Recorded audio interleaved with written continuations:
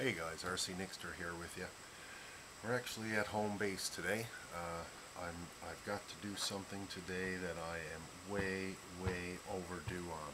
On from Flash Hobbies because I am way overdue uh, with this video. And basically, it's a big thank you to Juan over there. I'm, I'm hoping I got your pronunci the pronunciation of your name right there, uh, Juan. Uh, Flash Hobbies, great channel guys, check it out. Uh, I entered in a contest. Now this contest was maybe two months ago, maybe more. And um, between uh, uh, him being a little bit busy on his end and then once I got it I was a little bit busy. I hadn't gotten around to doing the video to say thank you and to do a shout out for his channel. And it is a great channel. I'll just show you this uh, this here. So what this is, of course, is a hexacopter. Make sure I'm getting that into the picture there. Sorry about the light, by the way, because it's uh, this is very makeshift for me, as I'm uh, I'm not real comfortable talking in front of the camera here, or or on video, I mean.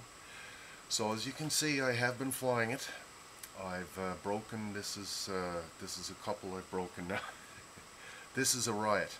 It's a great little uh, helicopter. I fly it all the time. And uh, this is what I won on a contest through uh, through Flash Hobbies. So big thank you to uh, Flash Hobbies. Check out their channel. He uh, he's doing some really nice stuff with a, uh, a Yeti Score uh, axial truck.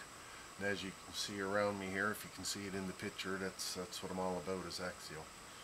Um, uh, he's been going through some upgrades and doing some things to it that I think uh, it's worth watching. Absolutely. If you're thinking about getting one of these trucks, he's certainly gone through the uh, the pains of, of figuring out what uh, what works with the truck.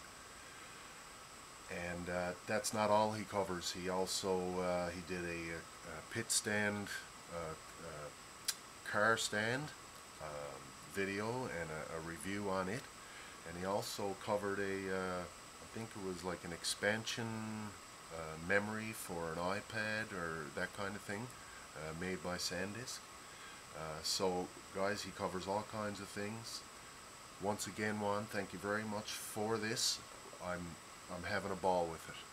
Uh, sorry I didn't have a charge, by the way, but anyway, guys, listen. Thanks for uh, thanks for watching, and if you like the video, hit that like button and subscribe for more. There's going to be lots going on. Thanks, guys.